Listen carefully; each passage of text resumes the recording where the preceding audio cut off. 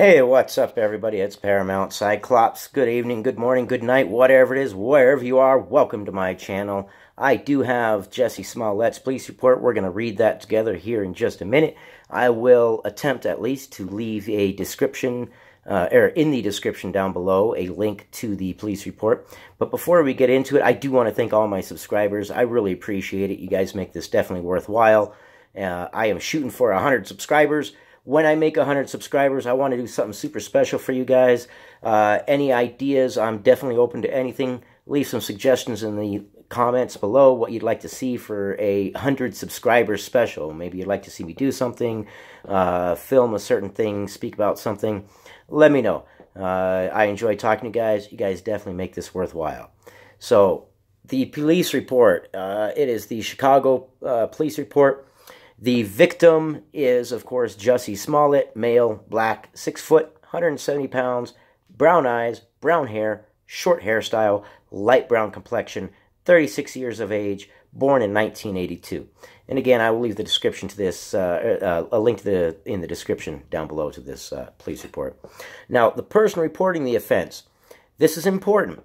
Jussie Smollett did not report the incident. In fact, he didn't want to report the incident, which brings to mind the idea that he really didn't want this to get this big. He was looking for a small group of uh, people to get attention from or to hide whatever happened, what really happened. Because he didn't want to report, his manager kind of kind of pressured him into it a little bit.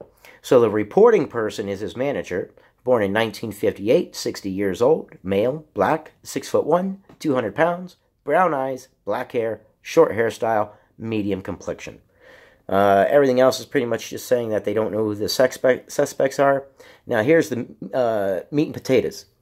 Here is the officer's wording of their initial contact. Event number 00959, BWC. I don't know what BWC means, but if anybody knows what BWC in, in cop speak means, let me know in the comments below. BWC incident until victim requested. BWC be deactivated. Responding officers responded to battery report at above listed location. Now, the location is 341 East Lower North Water Street. I know I have some people in Chicago. I've spoken to you. I got some, some watchers in Chicago.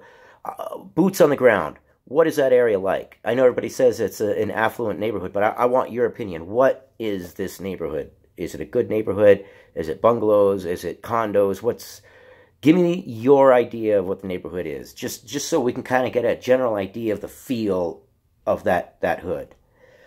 All right, so back to the police wording. At above listed location, uh, Jussie's manager is the person reporting the offense, and Jussie met responding officers in lobby of building and escorted responding officers to unit of victim. He related, this would be Jussie's man manager, to responding officers that victim did not want to report the offense. However, he, Jussie's manager, believed it to be in the best interest. Responding officers arrived at apartment unit of victim to find him with white rope draped around his neck and stained clothing. Both those have been inventoried. Victim related to responding officers that as he was walking to his residence, two unknown males approached him and gained his attention by saying verbatim, Empire blank blank. I'm assuming that's going to be the homophobic uh, slur. It's blacked out, redacted, as they say. Victim related that he is an actor on the TV show Empire, and responding officers know those terms said to him to be racial and homophobic slurs. The primary aggressor was wearing a black mask concealing any facial features, and both offenders were dressed in black, proceeding to batter the victim about the face with their hands and pouring an unknown chemical substance on him, staining his clothing. Okay, staining his clothing or bleaching his clothing? Did it stain or did it bleach? Because I mean, you'll know you know the difference right away, stain and bleach. I mean, everybody does. The victim does not remember any other distinguishing features of the offenders or in which direction they fled. Victim related that on the 22nd of January 2019, he received hate mail at his place of work. Victim showed responding officers where the incident occurred. He showed them, so he must have taken them to the spot and said, "This, this is where it happened, huh?" Okay. Assisting unit, uh, assisting unit beat 1824R canvassed the area for offenders and cameras in the vicinity of the crime. Cameras located at 300 East Lower North Water Street in parking lot and at 301 East Lower North Water Street on adjacent building city pod cameras in vicinity whatever the number is and whatever the number is. It just says 6870 and 6879. It's going to be like their designated uh, vicinity numbers. Victim advised to seek medical attention. Victim taken to Northwestern Memorial Hospital by blank. That would be his manager. Attending MD, Dr. Dresden, victim given, VIN, OEMC, notified. Everything else is just legal jargon. Now, isn't this interesting? Didn't Jussie just say on his uh, his speech that at his concert that he went immediately to the hospital? But according to this, the cops were there.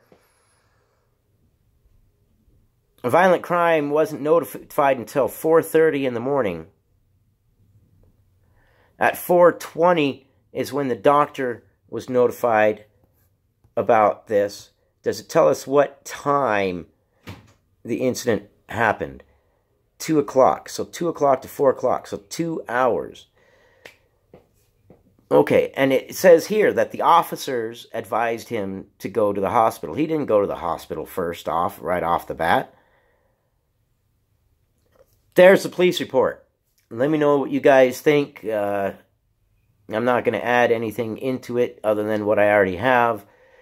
You guys are smart. Uh, uh, you guys are a lot smarter than those people watching the mainstream media. I'll tell you what. The changing tides of news. I will see you guys on the next one. And remember, I do have other news stories on my channel. I cover a wide variety of, of stories.